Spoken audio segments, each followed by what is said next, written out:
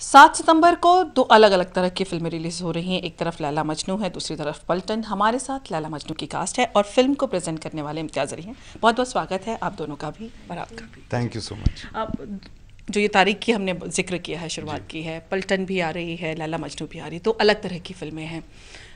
कितनी खास फ़िल्म है ये आपके लिए इम्तियाज़? मेरे लिए बहुत ज़्यादा ख़ास है इस वजह से कि किसी और फ़िल्म में जिसको मैंने डायरेक्ट नहीं किया मेरा कभी इतना इन्वॉल्वमेंट नहीं रहा है।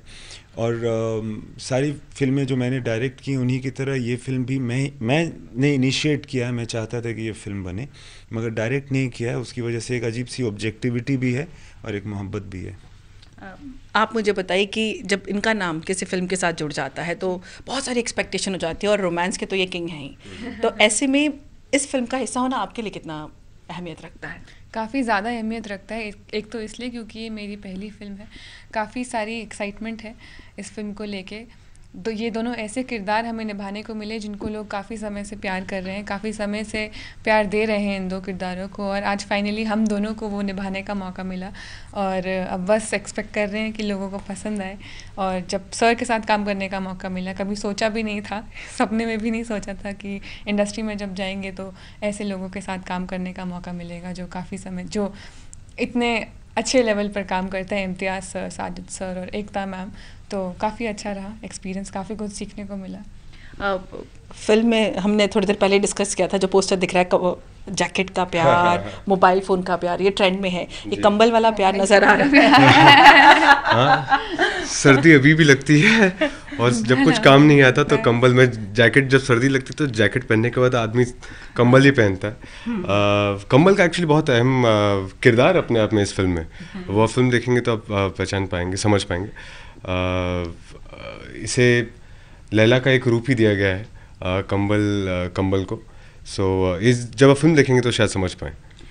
इम्तियाज़ जी जैसे कि हम आपकी फ़िल्में देखते आते हैं ढेर सारा प्यार होता है रोमांस होता है पहाड़ होते हैं आसमान होता है, नीला बड़ा आसमान होता है, ढेर सारी बर्फ़ होती है और रोमांस होता है।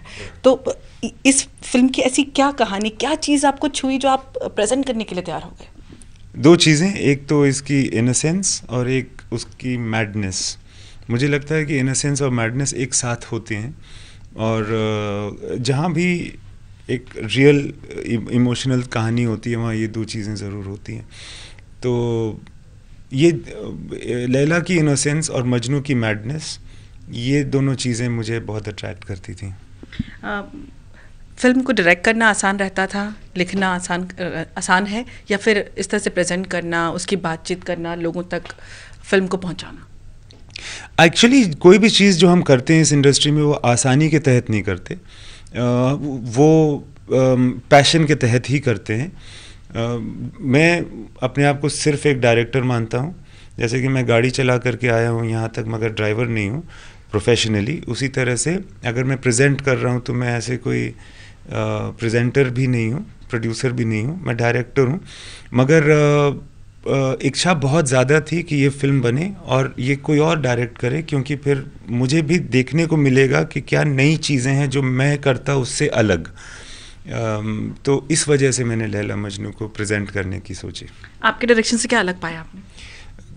कैरेक्टर्स बहुत अलग हैं। लैला के लैला और मजनू के कैरेक्टर्स बहुत अलग हैं। जिस तरह के डायलॉग लिखे हैं साजिद ने वो बहुत अलग हैं जिस तरह से मैं लिखता उससे।